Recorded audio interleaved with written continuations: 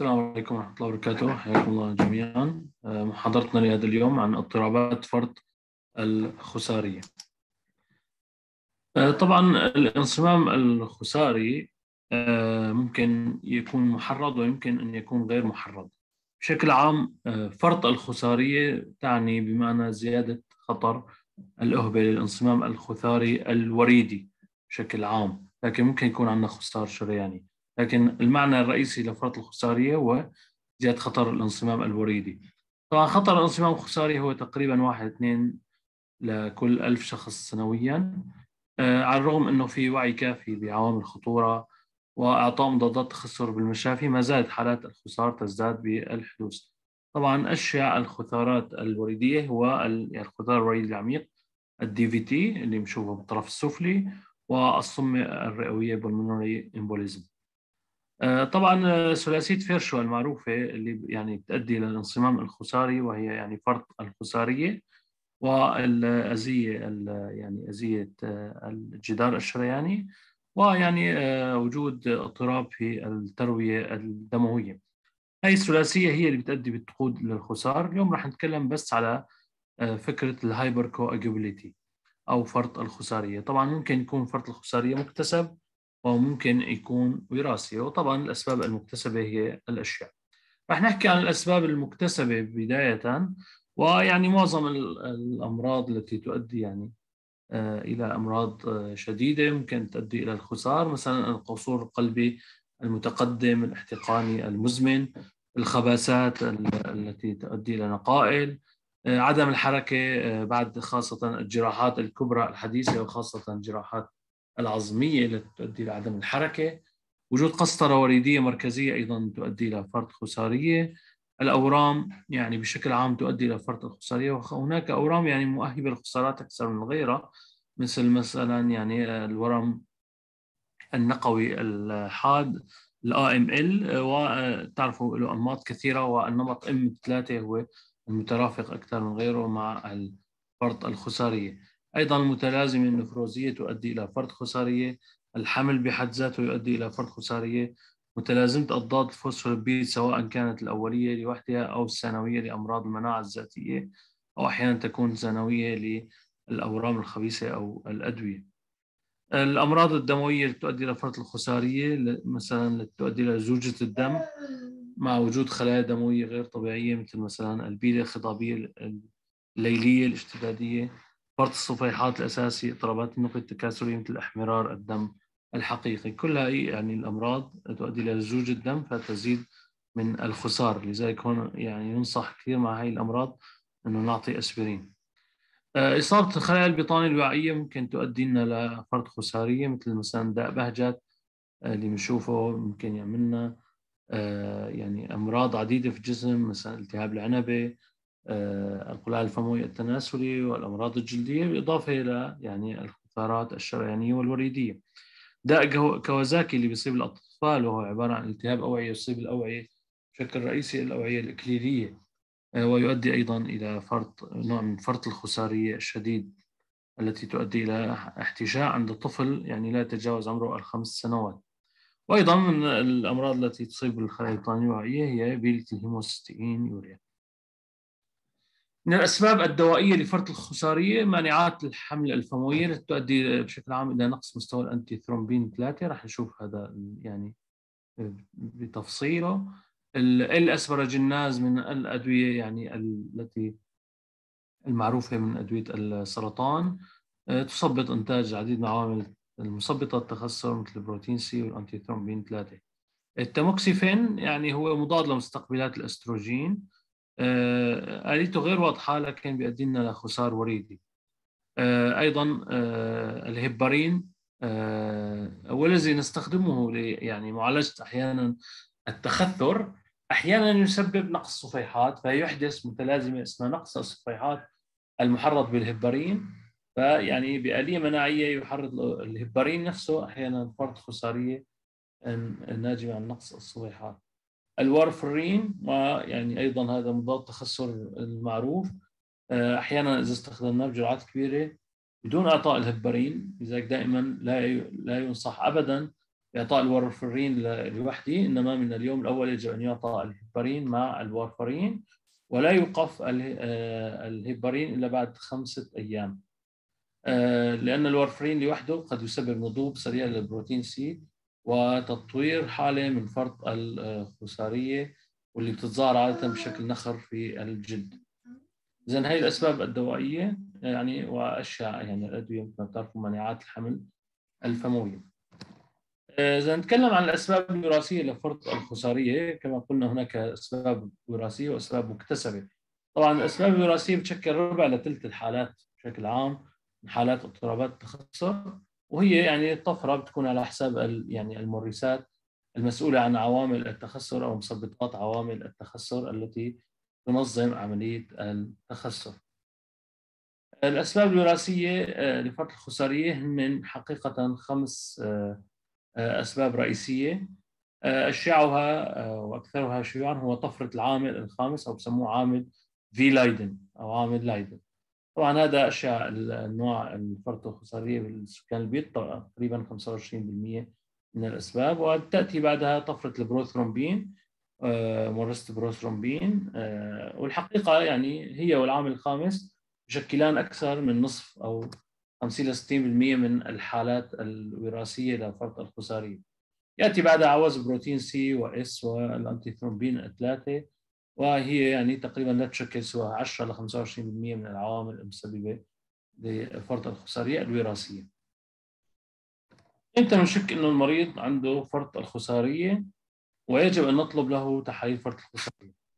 هلأ بشكل عام يعني حدوث آه، فرط الخسارية أو خثار عند مريض شاب سواء شرياني آه، أو وريدي بدون أي عوامل خطورة عمره أقل من 45 سنة هذا يجب أن يشككنا بوجود فرط خسارية عنده.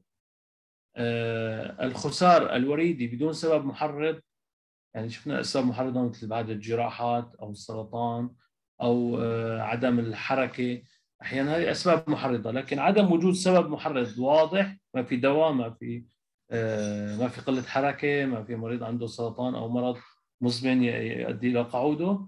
فيجب أن نشك إنه عنده حالة فرط خسارية. الخثار الصمي متكرر صار معه مرة ومرتين وثلاثة فهذا يجب أن نشك إنه عنده حالة فرط خثارية. الخثار الوريدي المتكرر رغم التمييع الكافي أن نعطي تمييع مثلا وارفرين وال INR بين اثنين وثلاثة أو جرعه ال rivaro آه، rivaroxaban يعني الاعتياديه ولكن المريض ما زال يعاني من خثار. الخثار الوريدي الواسع والعفوي يعني مباشرة بشكل آه، بدون محرض وبشكل واسع كبير جدا هذا يجب أن يشككنا بحالة فرط خسارية، أما يعني الخسار يعني مثلا الوريدي العميق البسيط آه، بعد الجراحة نشاهد أنه يعني يكون في عندنا خثرة صغيرة سادة احد الاورده. القصة العائلية لدى أقارب الدرجة الأولى لخسار صمي وريدي أيضا تشككنا بوجود حالة فرط خسارية عند مريض يعني لديه قصة عائلية. الخسار في الأماكن غير متوقعة. آه، عادة مثل ما حكينا في يعني آه، مكانين شائعين وهن خسار وريدي عميق الساق أو رد الساق والصمي الرئوية، فإذا وجدنا خسار مثلا في الجيوب الدماغية الوريدية الدماغية، خسار في آه، الوريد الطحالي، خسار في الوريد الكلوي، يجب أن نشك آه، خسار الوريد البابي مثلا.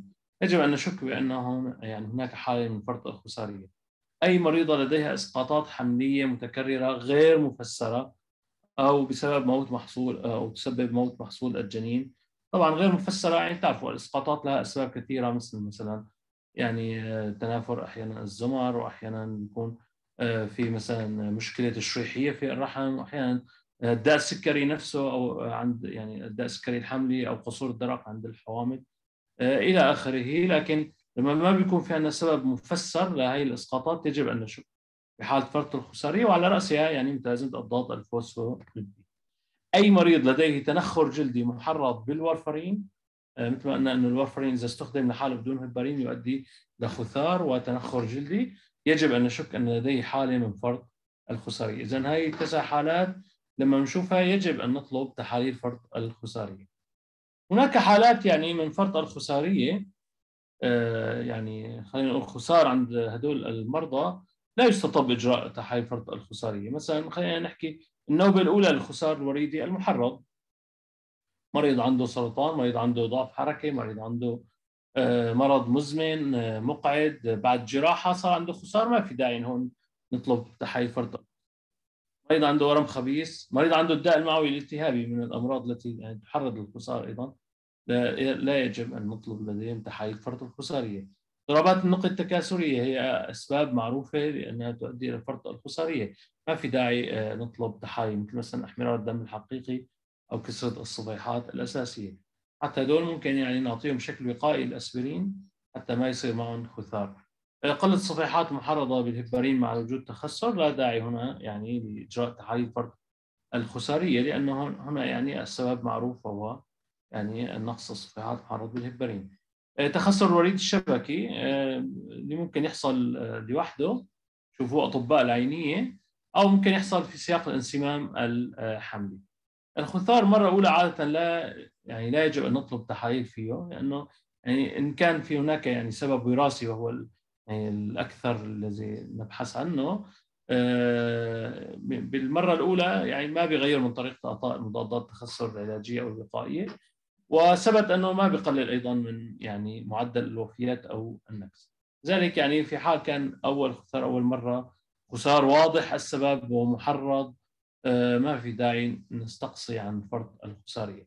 شو هي تحاليل فرط الخسارية؟ هناك تحاليل أساسية التحاليل آه، الخمسة الأساسية وهناك يعني تحاليل أخرى تطلب يعني حسب كل حالة على حدة في مرضى معينين. تحاليل فرط الخثارية هن تحاليل الوراثية وتحاليل آه، متلازمة أضداد الفوسفوليبيد.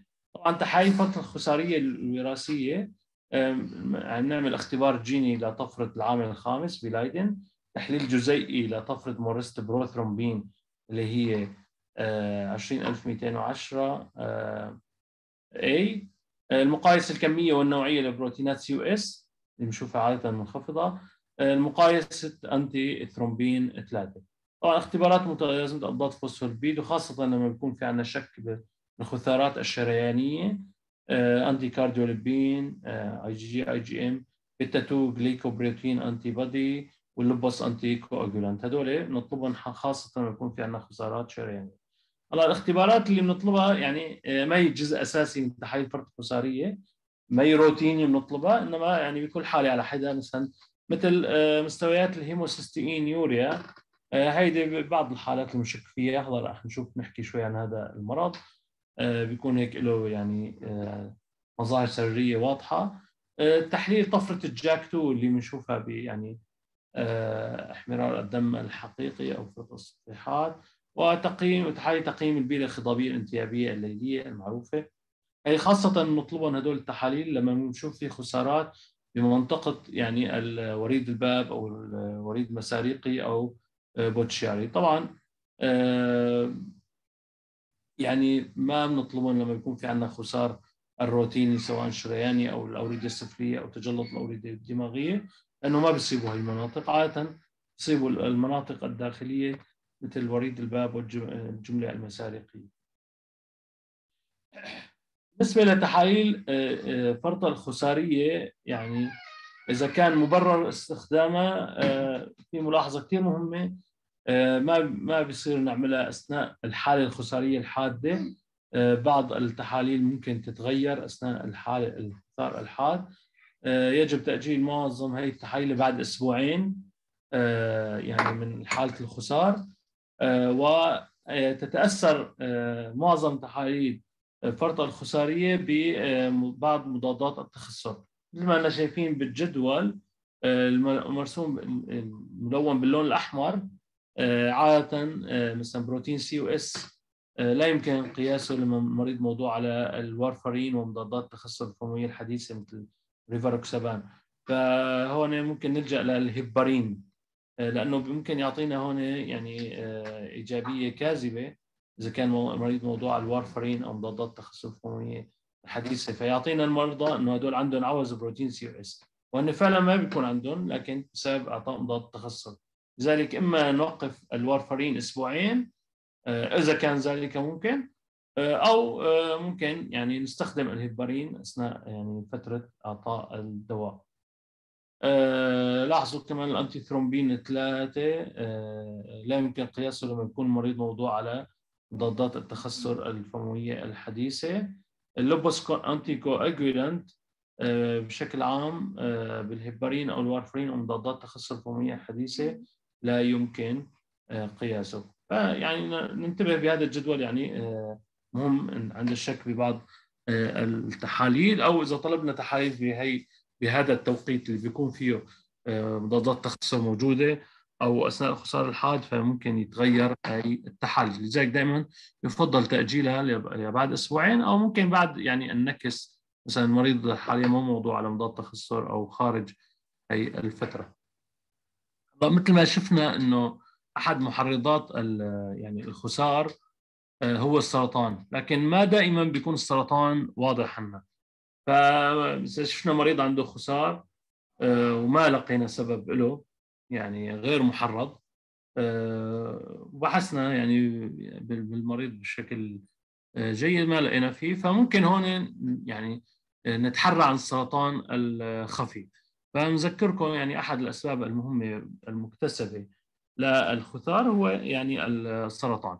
فينصح بإجراء تحاليل أساسية أو تقييم أساسي عند هؤلاء المرضى اللي طلع عندهم خثار غير محرض غير مفهوم سببه آه، من خلال مثلا القصة والفحص السريري آه، يعني الشامل. بما في ذلك المس الشرجي وفحص الحوض عند النساء التحري مثلا عن سرطان المستقيم أو سرطان يعني الطرق التناسلية. اختبار الدم الخفي بالبراز تعداد دموي كامل مع الوطاخه سرعة التسفل اختبارات وظائف كلية والشوارد وخاصة الكالسيوم. طبعا تعرفوا الكالسيوم بيرتفع بكثير من الأورام المنتقلة للعظام اختبارات وظائف الكبد أيضا تحليل البول.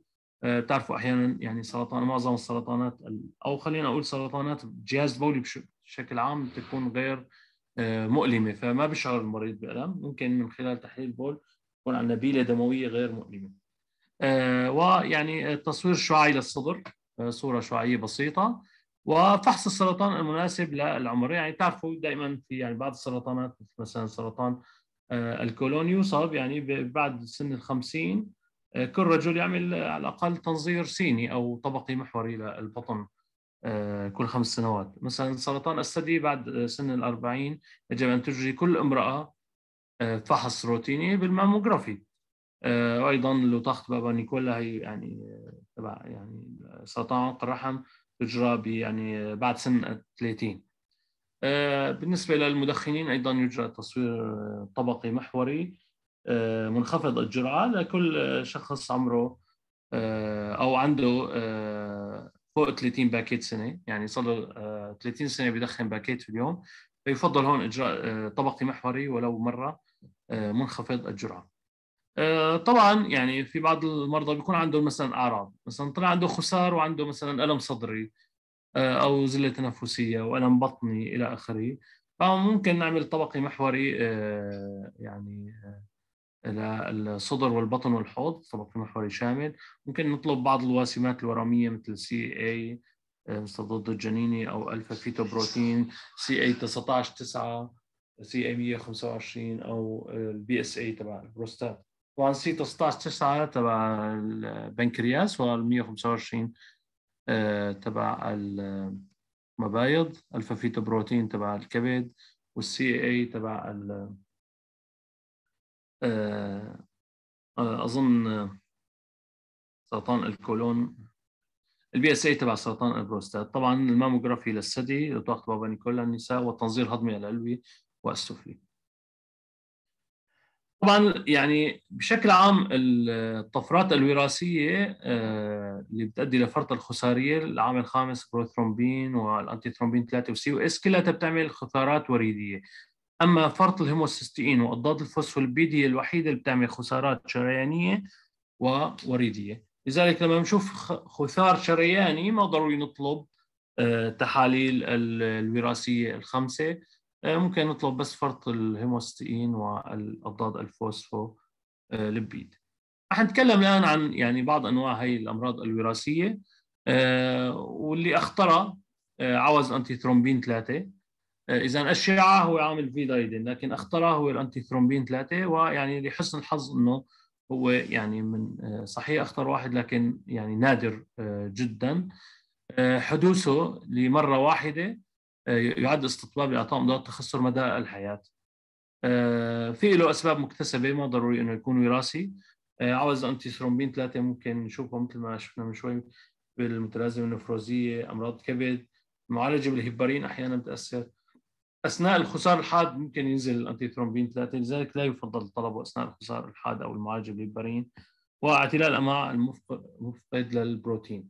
آه، نصف آه، يعني الوراثة تبعيته هي وراثة سائدة لذلك نصف العائلة بتكون آه، مصابة. يجب أن نجري له يعني اللي بيطلع عنده عوز antithrombin 3 يجب أن نجري للعائلة التحليل.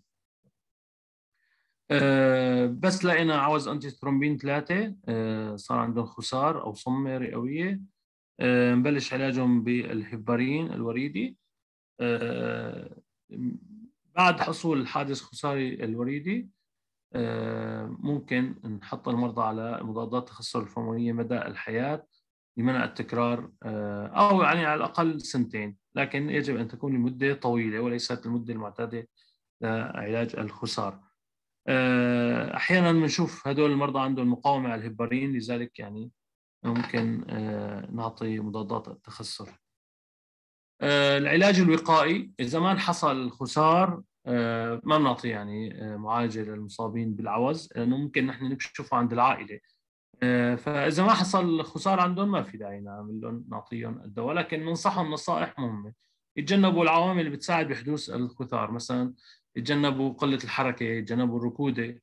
آه، وممكن يعني هدول يعني نعطيهم علاج وقائي بالهبارين.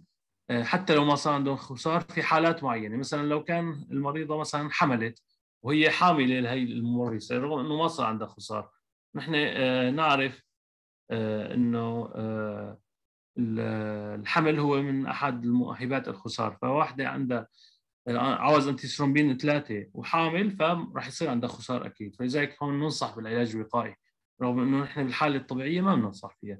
أي مداخلة طبية أو جراحية بتزيد من خطر الخسار ممكن آه، ننصح بالعلاج الوقائي. المريض مثلا يعني مضطر يوقف لفترات طويلة مثلا يعني مثلا سفر طويل آه، ارتداء أحذية لفترات طويلة هو عنده دوالي أيضا. آه، يعني مريض فقر الدم المنجلي آه، بشكل عام نحن يعني مريض فقر الدم المنجلي ما بنعطيه مميعات آه، إذا ما صار عنده خثار آه، مثلا بتعرفوا مرضى فقر الدم المنجلي بصير عندهم ستروك أحيانا نتيجة بصير في خسار بالأوعية الدماغية. لكن بشكل طبيعي ما عندهم خثار ما بنعطيهم مميعات لكن إذا كان عندهم عوز antithrombin ثلاثة فيجب أن نعطيهم مميعات بشكل دائم. اذا هي الحالات الأربعة اللي بنعطي فيها علاج وقائي عند مرضى عوز antithrombin ثلاثة غير العرضيين، أما إذا كان عرضي فيجب إعطاء مضاد التخثر ومدى الحياة، اذا هون علاج وقائي.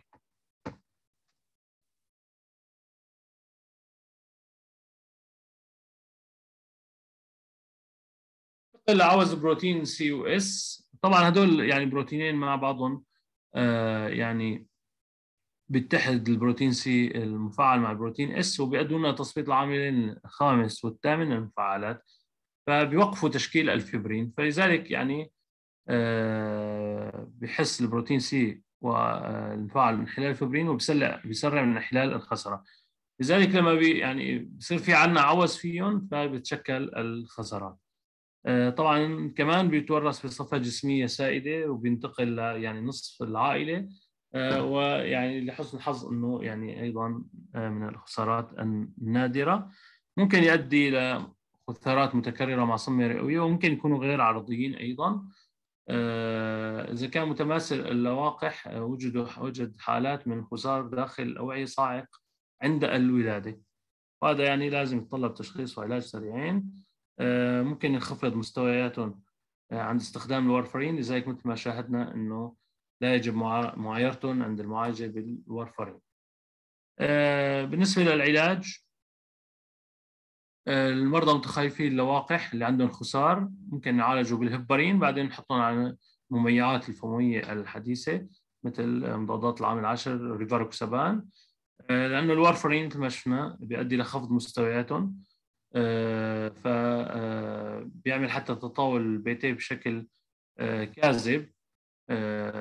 ويعني المتماثلين اللواقح بيحتاجوا لنقل بلازما دوري. لذلك يعني ننتبه إنه يعني إذا كان عندنا عوز ال protein C أو S الأفضل استخدام مضادات التخثر الحديثة.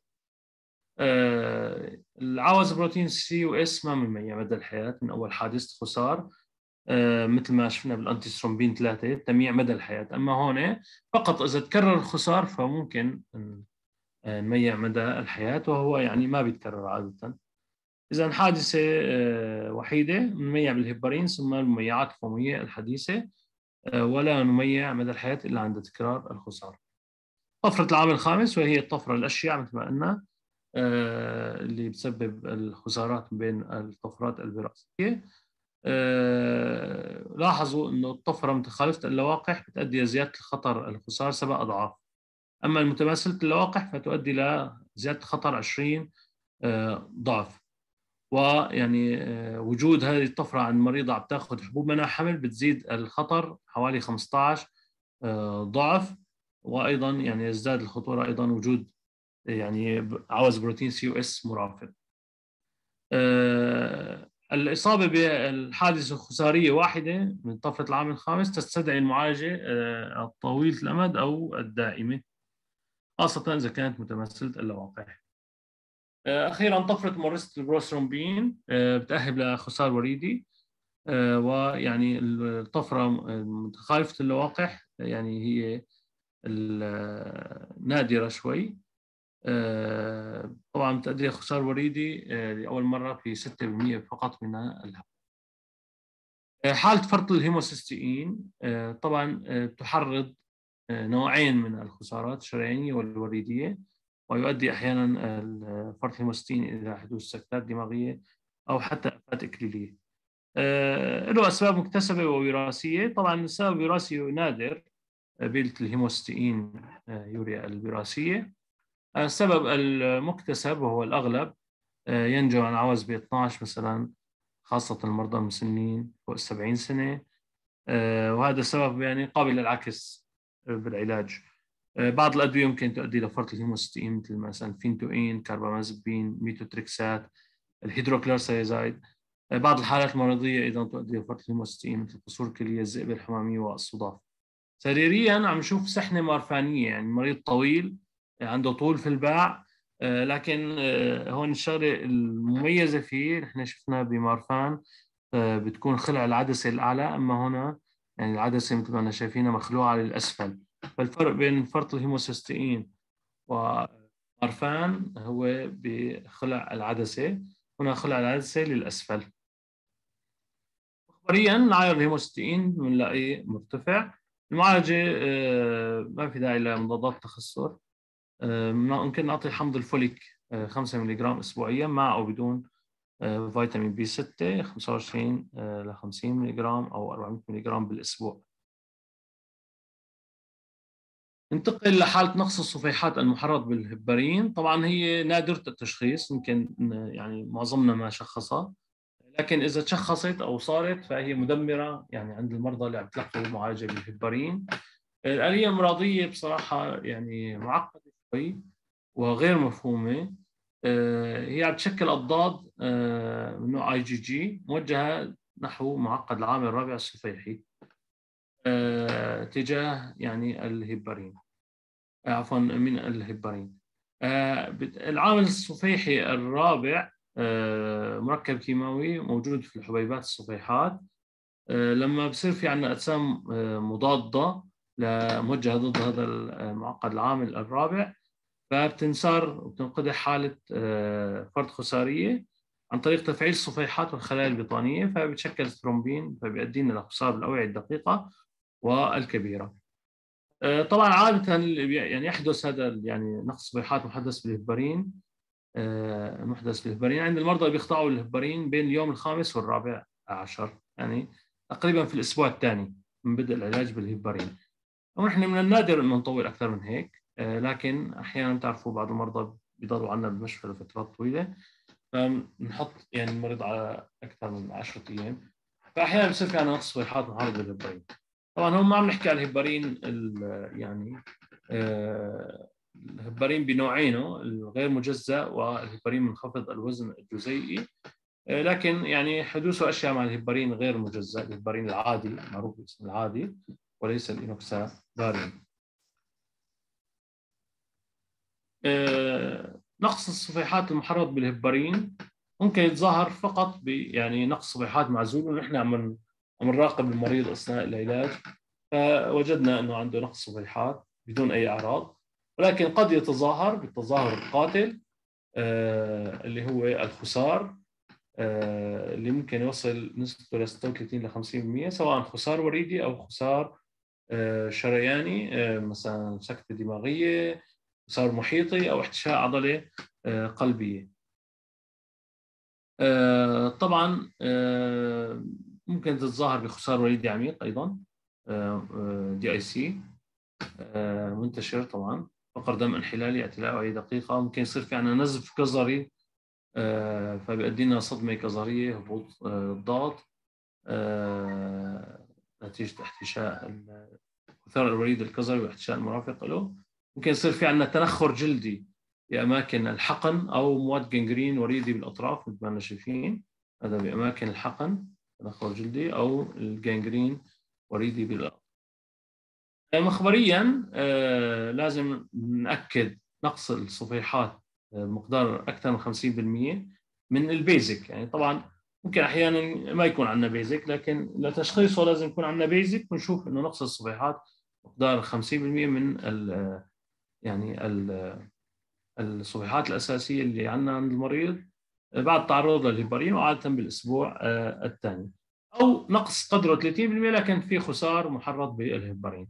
يعني بدون خسار آه، نقص 50% ومع خسار 30% وهناك يعني بعض يعني التشاخيص أو الاستقصاءات المخبرية يعني تجرى في الأبحاث.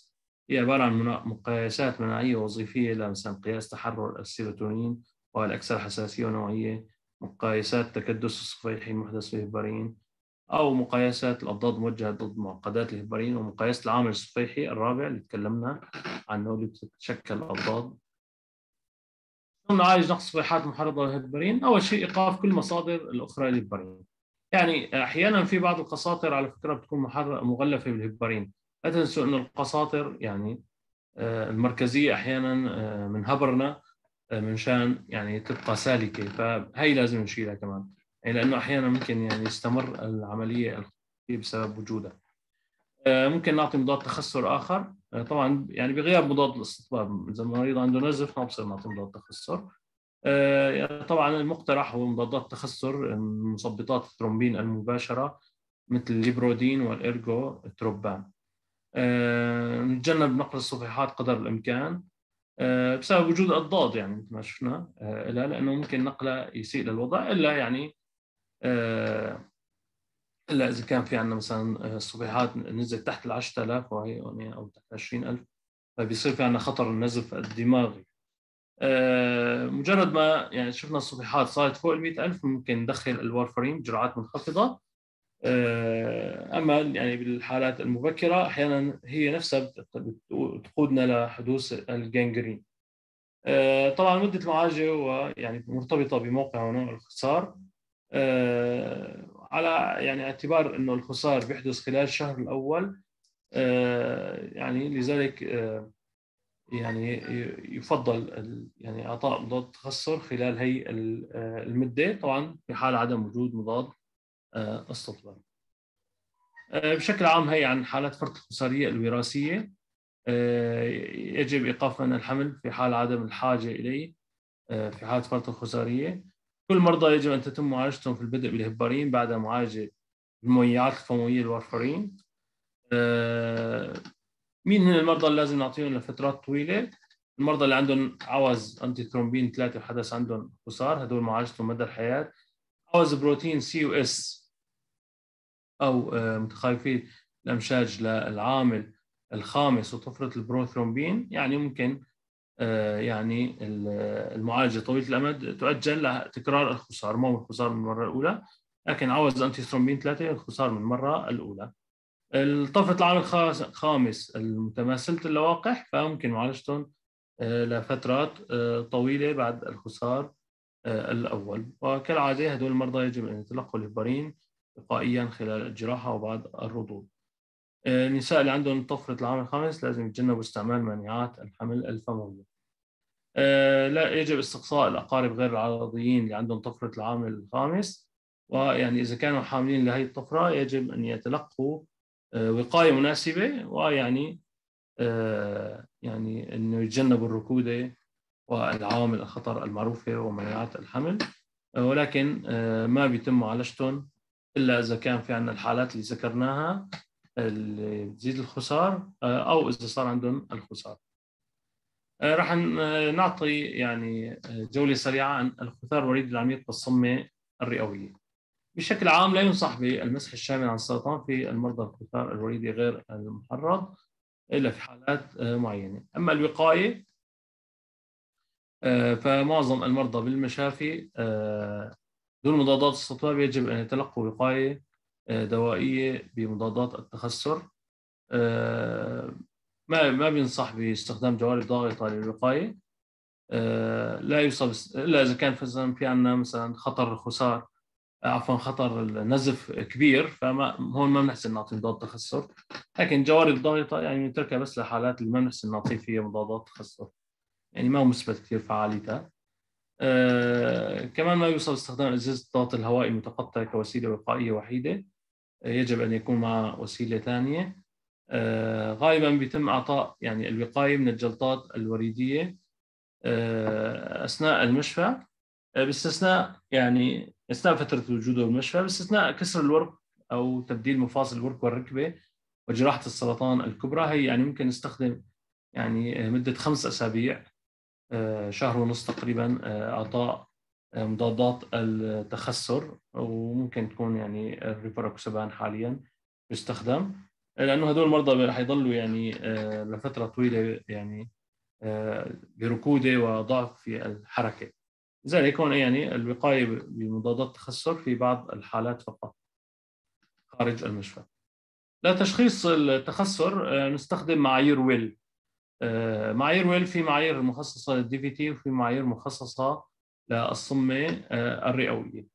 آه، رح نرجع لهذا ال slide، شو هي معايير ويل لتشخيص الوريدي الخثار الوريدي العميق ال DVT؟ طبعا هن يعني آه، عدة معايير تقريبا شيء ثمان معايير وجود كل معيار واحد من هدول المعايير بياخذ نقطة وإذا كان في عندنا تشخيص آخر للدي في تي بنقص نقطتين مباشرة وجود نقطة واحدة آه، آه، عفوا نقطة عند هدول المرضى آه، فيعني يشككنا بالخثار الوريدي العميق. وجود سرطان فعال، وجود مضض موضع بالساق أو التورم، تورم بال يعني الربلة أكثر من 3 سم، وجود وزمة انطباعية، وجود أوردة سطحية واضحة، قصة دي في تي سابق، آه، أو قصة جراحية أو آه، يعني جلوس في السرير قصة شلل عند المريض. كل وحده بتاخذ نقطة من هدول النقاط. آه، في حال يعني الاحتمالية منخفضة يعني هي واحد فما دون فيعني ممكن هون يعني نختبر دي دايمر. إذا كان دي دايمر سلبي ما في داعي لمزيد من الاختبارات. يعني كونه اختبار مخبري يدل على وجود آه، الخساره أما إذا كان D-dimer إيجابي فنلجا للتصوير بالموجات فوق صوتية لل DVT. اذا معايير ويل آه، أكثر من واحد يعني نقطتين. آه، خلص هذا مريض مثبت الخثار الوريدي عميق يجب تأكيده بال echo Doppler الوريدي أما إذا كان أقل أو يساوي واحد يعني نقطة واحدة فقط أو مثلا هون مثل هون ناقص اثنين. فمهم نعمل نحن D-dimer. إذا كان D-dimer سلبي فينفي الخثار. إذا كان إيجابي بنلجأ ل يعني أعطاء آه، أو إجراء ال echo Doppler. آه، ننتقل لمعايير ويل لتشخيص الصمة الرئوية. أيضا هناك يعني معايير حديثة وهون المعدلة معايير ويل المعدلة. وجود على يعني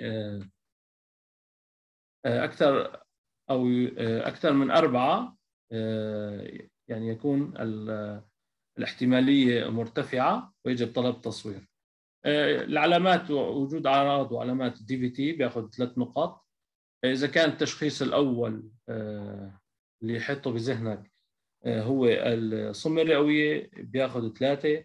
وجود تسرع في النبض أكثر من 100 بيأخذ نقطة ونصف. وجود قصة عدم الحركه من ثلاث أيام على الأقل أو جراحة خلال الأربع أسابيع الماضية بياخذ نقطة ونص. أه وجود تشخيص سابق لدي في تي أو صمه رئويه بياخذ نقطة ونص. النفس الدموي رغم إنه هو عرض نادر للصمه الرئويه بياخذ نقطة أه وبدل على وجود احتشاء رئوي. أه وجود خباثة مع المعالجة خلال الستة أشهر أو حاليا معالجة يعني أه تلطيفية بياخذ نقطة. إذا نرجع للنقطه هون إذا كان الاحتمالية منخفضة بالسمة الرئوية يعني أربع نقاط فما دون بنعمل اختبار D-dimer. إذا كان D-dimer إيجابي بنروح على التصوير الأوعية ال CTA لتصوير الأوعية الرئوية. إذا كان ال D-dimer سلبي فينفي السمة الرئوية ولا داعي لمزيد من الاختبارات. لكن إذا من البداية كان الاحتمالية مرتفعة يعني عندنا خمس نقاط فما فوق أكثر من أربع نقاط من نقاط معايير ويل فبنروح على تصوير الأوعية.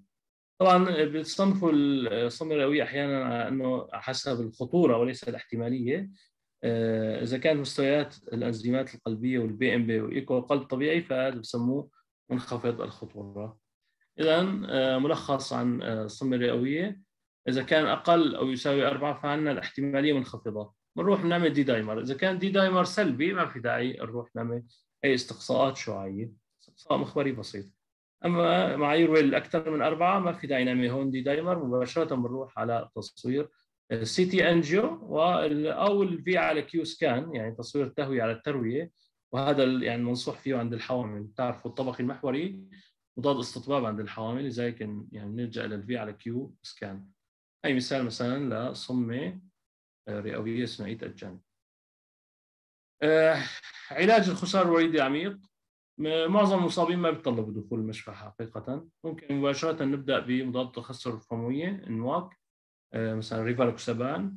آه، وهيدي مباشرة بتشتغل فما في داعي لإعطاء الهبارين معه أو إذا نعطي وارفرين لازم نعطي هبارين منخفض الوزن الجزيئي لمدة خمسة أيام مع الوارفرين هلا بعض المرضى اللي عندهم خسار وريدي عميق آه، سواء بالحوض أو الجزء القريب من الساق. أو المرضى اللي ما بنحسن نعطيهم مضادات تخثر مثلا عندهم نزف فعال نزف هضمي شوف نزف من أي مكان. أو عندهم خطر عالي للنزف أحيانا ما ما بنحسن نعطي مضادات تخثر فينصحهم بوضع فلتر الأجواف السفلية. الغاية من هذا الفلتر إنه ما تنتقل الخثارات من الساقين للرئتين وهو يعني الاختلاط القاتل هلا خسار الوريدي العميق بشكل عام آه، له خطر أحيانا بيتموت الطرف لكن يعني أو بصير في عندنا خسار آه، أو يعني ركوده وريدية مزمنة آه، لكن خطر منخفض يعني.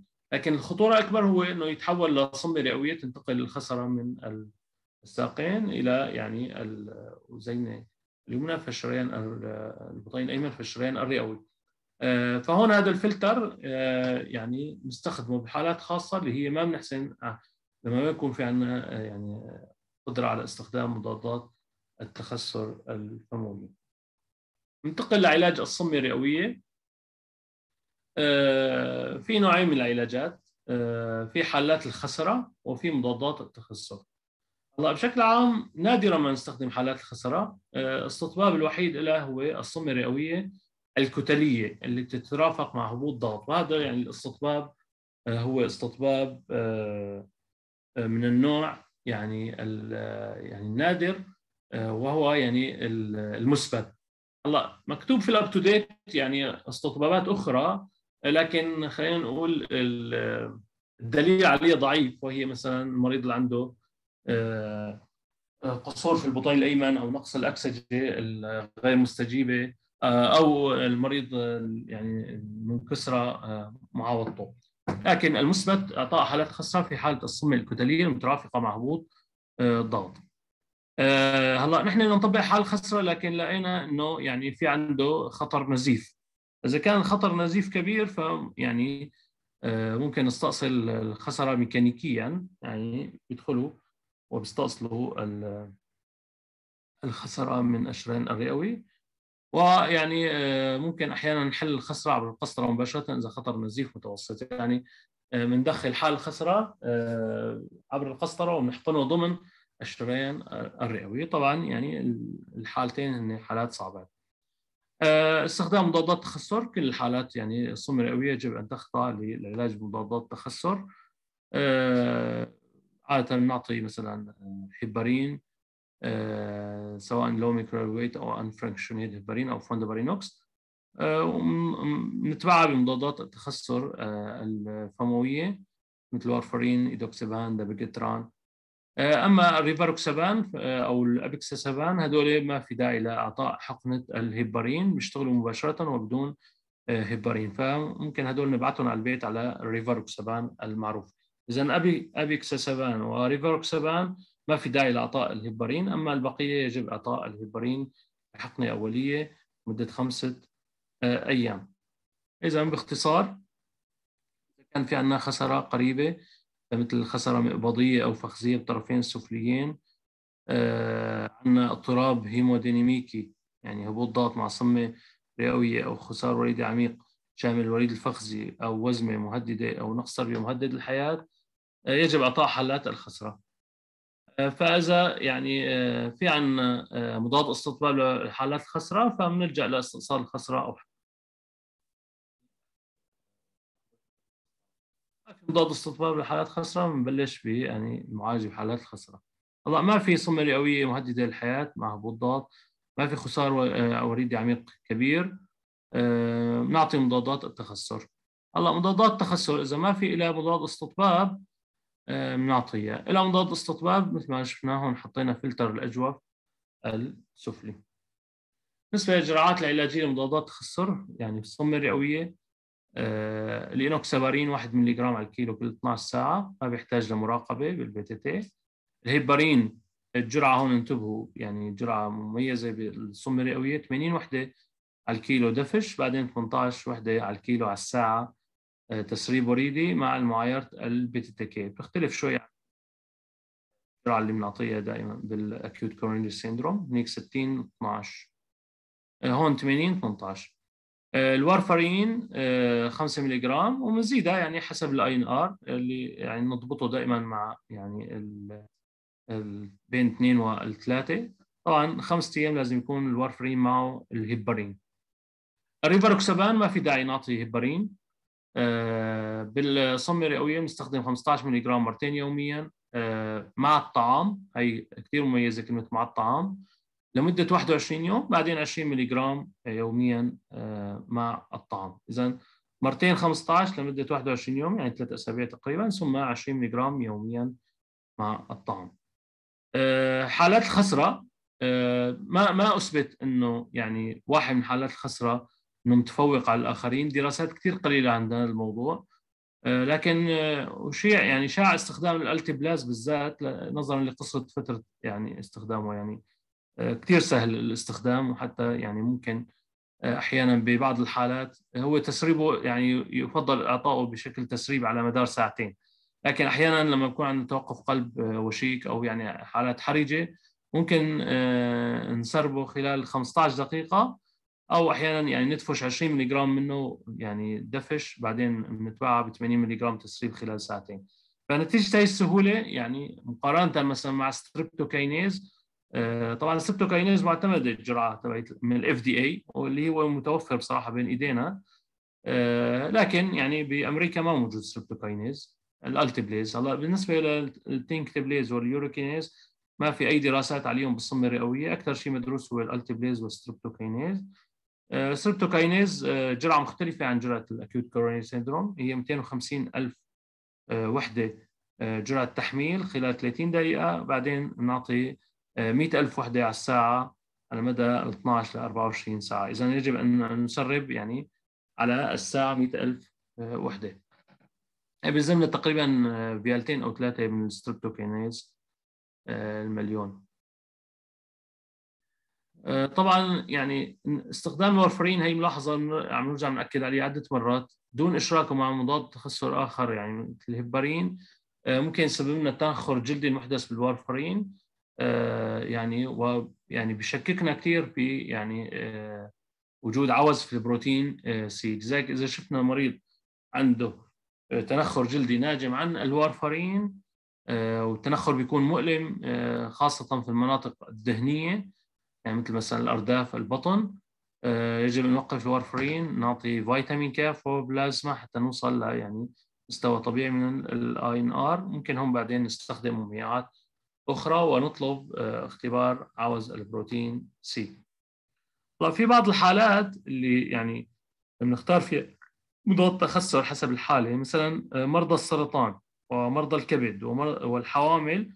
أفضل مضاد تخسر هو الهيبارين منخفض الوزن آه، الجزيئي مثلا بمرضى الكبد آه، مضاد تخسر الفموية الحديثة آه، يعني مثل معروف ريفاروكسبان ابيكسبان دابيجاتران مضاد استطباب خاصة إذا كان ال INR مرتفع عند مريض الكبد تشمع الكبدي مثلا أو اضطرابات تخثر مختلفة.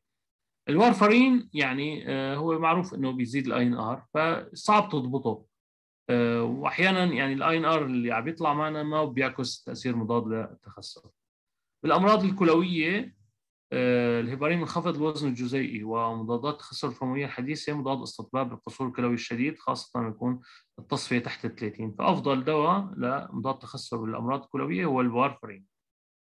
آه، بأمراض الشرايين الإكليلية ممكن استخدام الوارفرين ممكن ريفاروكسابان ممكن إندوكسابان والابيكسابان آه، بعسر الهضم وقصة النزف الهضمي يفضل استخدام الوارفرين أو الأبيكسابان لأنه الدبيجاتران وجدوا إنه بيزيد عسر الهضم. آه، الدبيجاتران والريفروكسابان والاندوكسابان وجدوا إنه بيزيدوا النزف الهضمي أكثر من الورفرين فهي ملاحظة آه، يعني مهمة وجديدة. آه، بيزيدوا النزف الهضمي أكثر من الورفرين فانتبهوا يعني أفضل دوايين بالعسر الهضم هو الابيكسابان والورفرين الملاحظة قبل الأخيرة المطاوعة الضعيفة من المرضى. هلأ بتعرفوا يعني المرضى يعني الكبار في العمر المرضى اللي ما بياخذوا دواهم مثل العاده أحيانا من الصعب يعني آه، تلزمهم بالوارفرين وتقول لهم يعملوا تحاليل INR. فممكن نعطيهم مضادات تخثر الفموية الحديثة. آه، المرضى اللي عم نستخدم لهم حالات خسرة آه، طبعا بنأجل الوارفرين يعني استخدامه لليوم الثاني إذا كنا نستخدم وارفرين وأفضل مضاد تخثر مع حالات الخسره هو الهيبارين العادي.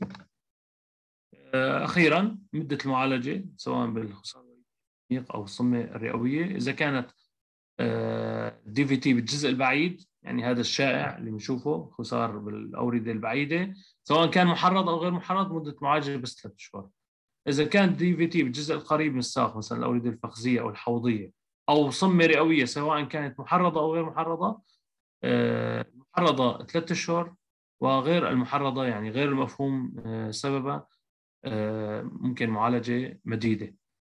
ال DVT إذا كان بالطرف العلوي أقل شيء ثلاث شهور. يعني ممكن نمدد أيضا. ال DVT طبعا لا تنسوا إنه لما بصير في عندنا خثار بال يعني بأماكن غير معروفة خاصة بالطرف العلوي يجب أن نشك بفرط الخثارية. ال DVT أو الصمة الرئوية المرتبطة أو المترافقه مع السرطان يجب أن يستمر المعالجة. بمضادات التخثر ما دام السرطان فعال أو المعالجة موجودة. معالجة السرطان يعني. أخيرا آه، فرط التوتر الرئوي المسبب المسبب بالانصمام الخثاري المزمن يعني حالة نادرة جدا سي تي اي بي اتش يجب أن يعالج بمضادات التخثر آه، بشكل مديد. ويعني شكرا لاستماعكم.